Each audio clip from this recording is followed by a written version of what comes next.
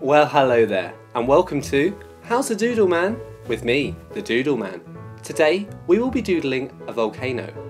When doodling a volcano, the first things you'll need are a piece of paper, a pencil, and of course, a pen. It's tricky to draw a volcano, but even trickier to explain how. Let's start by using the pencil. Create a slanted rectangle near the centre of the paper. Do the same again, but in the opposite direction to the original. So you have something that looks like two blank playing cards. Now we add some small sausages at the top of these rectangles. I suppose they're more like cocktail sausages, really.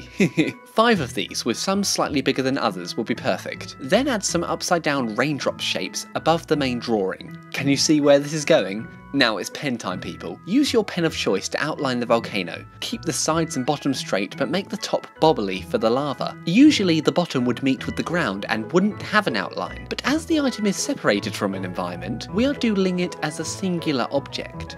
Outline those droplets at the top, then proceed downward to creating thin lines beneath the lava to create crusts on the body of the volcano. This will make the doodle look slightly 3D. Add some final lines to the lava and drops at the top, and there you go! It's getting hot in here, so doodle volcanoes.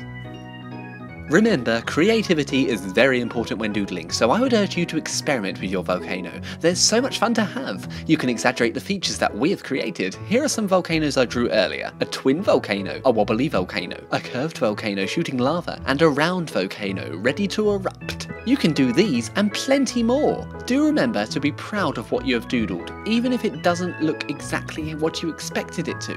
Wouldn't you fancy a volcano in your garden? Well, why don't you try creating an environment of your own for the volcano to sit in? These Doodle Land inhabitants are happily sharing their space with the volcano. Brilliant. Thanks for watching. Have a doodly day.